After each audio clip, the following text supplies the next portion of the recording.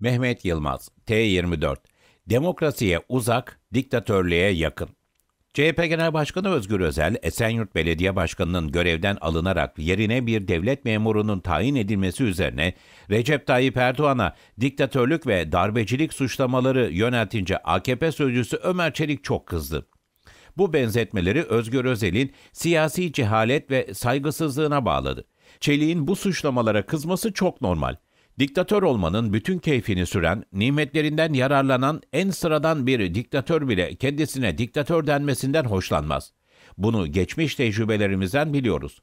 Çünkü diktatörler de bilirler ki diktatör olmak gerçekten aşağılık bir durumdur. Bu nedenle diktatör olmaktan vazgeçmezler ama kendilerine diktatör diyenlere de en ağır cezaları verirler. Zaten bizim memlekette de Erdoğan'a diktatör eleştirisi yöneltirseniz alacağınız yanıt da böyle olur. Tayyip Bey diktatör olsa sen bunu söyleyebilir misin?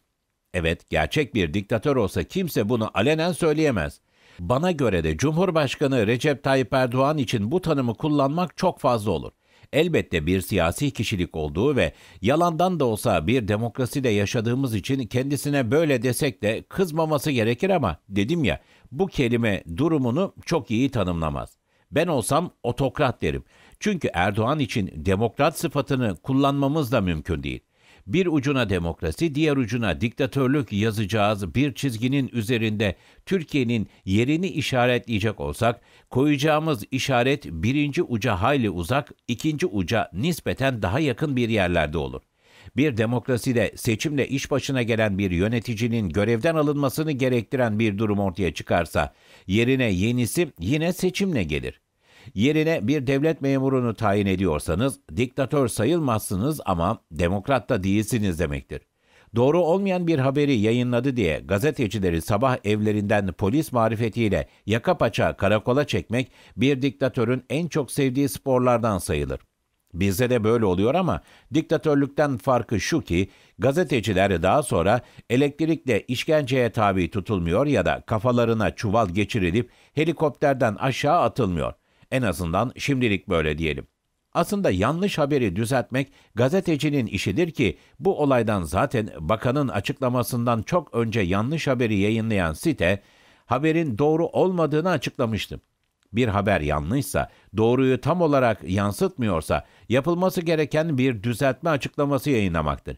Gazetecileri karakola çekmek değildir. Böyle şeyler demokrasilerde olmaz. Türkiye'de içinde yaşadığımız şey bu nedenle tam bir demokrasi sayılmaz ama diktatörlük de sayılmaz. Bu ikisi arasında diktatörlüğe daha yakın bir yerdeyiz ama daha oraya ulaşmış değiliz. Erdoğan'a göre tasarlanmış Türk usulü başkanlık sistemi kaçınılmaz olarak Erdoğan'ı otokrat yapıyor. Denge ve fren mekanizmalarının olmadığı bir sistemde yargıyı da kontrol ediyor, yasamayı da. Bundan sonraki seçimlerle ilgili en büyük endişenin kaynağı da bu olmalı. Kendisi için yaratılmış yetkilerin bir başkası tarafından kullanılması olasılığı yani. Kendisi için yaratılmış bu düzendeki yetkileri bir başkasının kullanarak iktidar sürdürdüğünü rüyasında görüyorsa kanter içinde uyanıyordur, iddiaya girerim. Bu yüzden de bu iktidarı bırakmamak için kafasında kim bilir kaç tilki dolaşıyor. Sayabilecek kadar yakında değilim. Ama şunu biliyorum ki Erdoğan için bu iktidarı sürdürmek hayatta kalma içgüdüsü.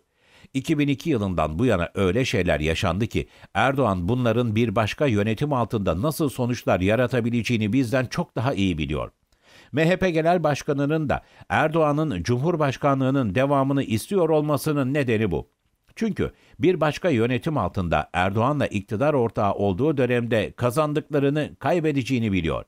Zaten ucube başkanlık sistemiyle ilgili anayasa değişikliğinde AKP'liler şevkle parmak kaldırırken hepsini uyarmıştım. Bu yetkileri günün birinde hiç sevmediğiniz birisi kullanabilir diye. Artık tabii bundan geri dönebilmek için çok geç. Yeniden parlamenter sisteme dönmek ya da başkanlık sistemindeki güç kullanımını denetleyip dengeleyebilecek kurumları oluşturmak hala mümkün ama Erdoğan'ın egosu bu kadar şiştikten sonra çok zor. Onun için bugünkü Türkiye'ye bakınca insan endişelenmeden edemiyor. Erdoğan'ın iktidardan ilelebet gitmemek için bizim henüz bilmediğimiz başka planları mı var? Bekleyip göreceğiz. Ama Bu süre zarfında böyle bir niyeti varsa pabucun çok bağlı olacağını Erdoğan'a göstermek de muhalefetin işi.